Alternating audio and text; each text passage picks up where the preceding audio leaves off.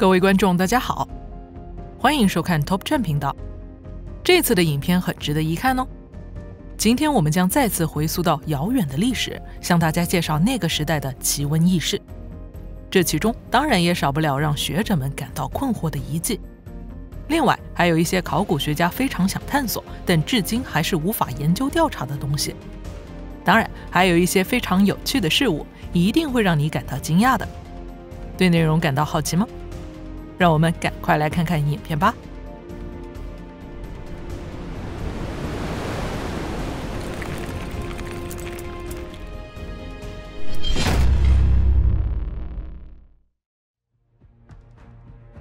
伦敦之锤，伦敦之锤应该是学者们最难以参透的文物之一吧？为什么这么说呢？因为根本就没有办法取得科学研究的许可。这件文物是在一九三六年在美国德州的一个叫做伦敦镇的地方发现到的。马克思·哈恩和他的女朋友在红湾河的岸边散步时，发现了一块不同寻常的岩石，上面有一根木头凸了出来。这块木头从岩石上被拔下来之后，后代的人就一直将它保存了下来。但是没有过多久，也就是十年之后，第一位发现者的儿子去了同一个地方，并砸碎了那块岩石，竟然在岩石碎片中发现了第二块拼图，也就是锤头的部分。为什么现代的工具会在岩石里面呢？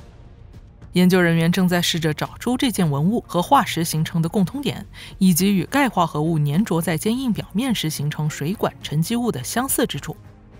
不过，他们没有办法证明伦敦之锤是现代制造的物品，因为伦敦之锤被收藏在创世证据博物馆里面，因此处于无法进行科学研究的状态。安东尼和克利奥佩托拉的坟墓。安东尼和克利奥佩托拉的目的是现代科学中的一个未解之谜。虽然一直都知道这两人的坟墓是在亚历山大港附近，但学者们想知道的是确切位置到底是哪里。最近的新发现说不定可以解开这个谜团。二零二二年，由凯特琳·马丁内斯所率领的考古学家小组在塔波西利斯马格纳神殿附近发现了一条地下通道。根据研究人员的说法，那条长度约为一千三百公尺的隧道很有可能通向失落已久的埃及艳后古墓。马丁内斯在长达二十年的期间里，不断的寻找墓穴，终于得到了解开谜团的线索。这个线索是否能通向预期的结果呢？虽然时机成熟的时候就能得到真相，但因为这条隧道通往地中海，未来学者们也不得不将调查方式从陆上勘测转向水中。三星堆遗迹的文物，有的时候偶然性在考古学中会起到非常重要的作用。例如说，一九二七年，一位中国的农民在三星堆附近挖掘灌溉渠道的时候，无意中发现了一个矿坑，里面有软玉制成的文物。一九八六年，工人们还无意中的发现了两个祭祀坑，里面有一大堆由青铜、软玉和黄金制成的器物。进一步的研究表明，在青铜时代早期，三星堆附近存在着一种令人惊叹的古代文化。这种古老文化的有趣之处，不仅在于铜器和石器的加工技术，还有一种非常古怪的文物，与过往所发现的相去甚远。令人格外惊奇的是，以独特样式所打造的黄金面具，这种东西在其他地方是找不到的。这个面具是做什么用的呢？学者们认为，这些面具是使用于埋葬的仪式。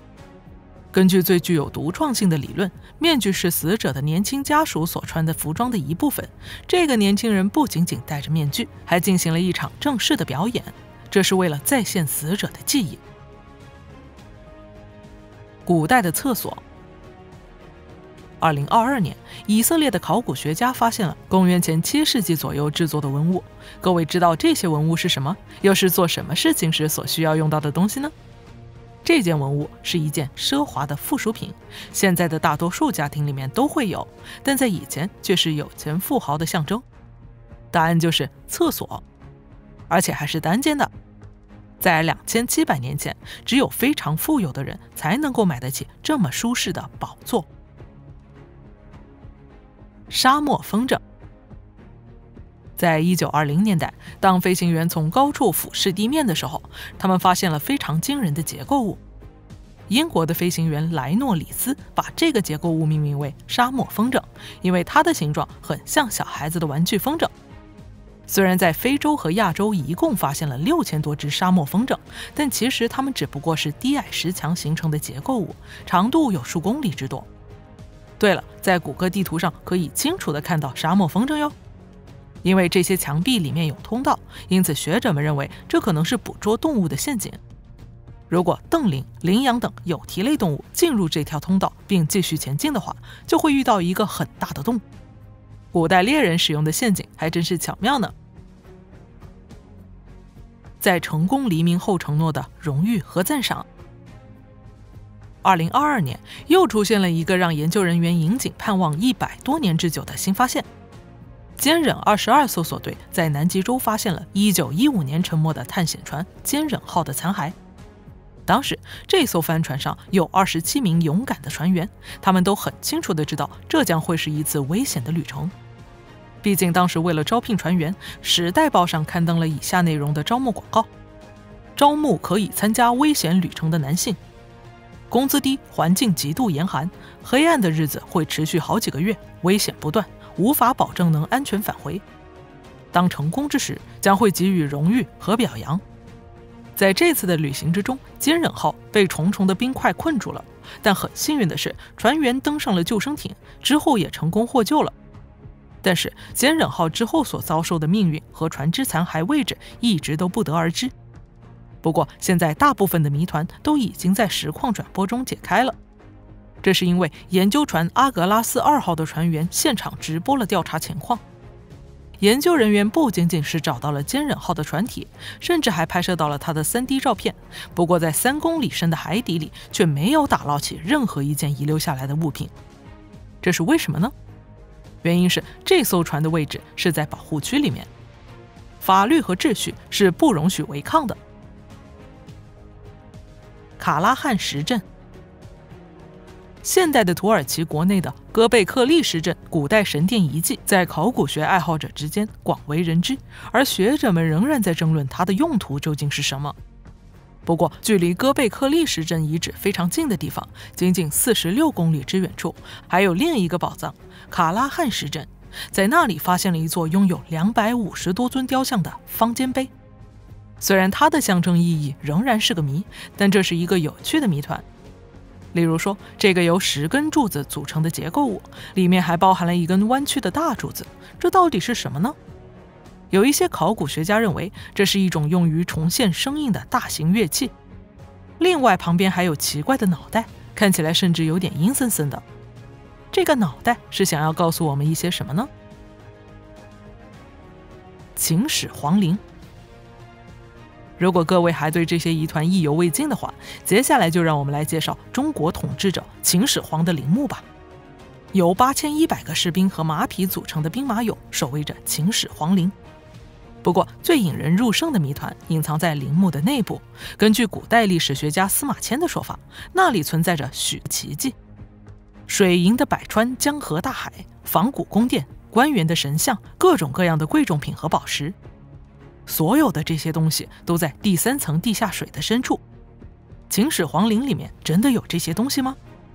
挖掘工作还是没有开始，所以学者们当然也不知道答案。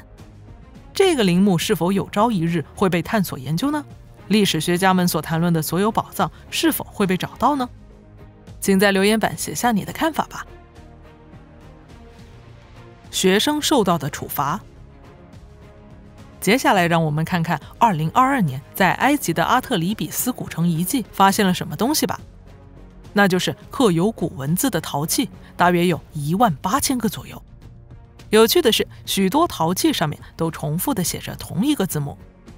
各位有没有回想起什么呀？没错，正如你脑海中所想的，这个就是处罚懒惰的学生的罚写。原来在古埃及也盛行这种非人道的教育方式呢。阿拉伯的神秘戒指。十九世纪，在瑞典的比尔卡镇进行一项坟墓挖掘的作业时，发现了这枚刻有阿拉伯铭文的戒指。这枚独特的文物被确认是九世纪的手工艺品。至于它是经过什么过程来到瑞典的，目前还不得而知。但这枚戒指让研究人员可以更了解维京人的贸易关系。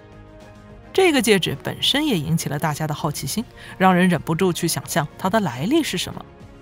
一开始，研究人员认为这件人工制品是一个镀金的银戒指，戒身镶嵌着一颗紫水晶，上面还刻着字母阿拉。因为这枚戒指应该是与阿拉伯世界有关，所以上面刻的文字被翻译成以阿拉之名。不过这非常的令人不解，为什么这么说呢？因为在北欧国家的其他地方都不曾发现过这种来自阿拉伯的古老戒指。奇怪的事情并没有就此结束。经过仔细的研究之后，发现戒指的圆环部分是由银合金制成的，而不是纯银，而且石头还是有色玻璃。这是想要让人误以为是昂贵戒指的古代假货吗？另外，这枚戒指中又隐藏着什么样的故事呢？研究人员也没有任何头绪。那么，我们就用这个谜团来结束今天的影片吧。非常感谢各位的观看。制作这支影片真的很有趣。如果大家喜欢这支影片的话，一定要记得订阅本频道，并帮我们按一个赞。多亏了 YouTube 这个方便的平台，让大家可以随时了解考古学和其他奇怪现象的奥秘。我们的频道也不断的发展，才能够推出更多的新影片让各位观赏。也麻烦各位将影片分享到社交网站上，给你的亲朋好友。在此感谢各位的支持。又到了暂时说再见的时候了。让我们一起期待下次的影片吧，拜拜。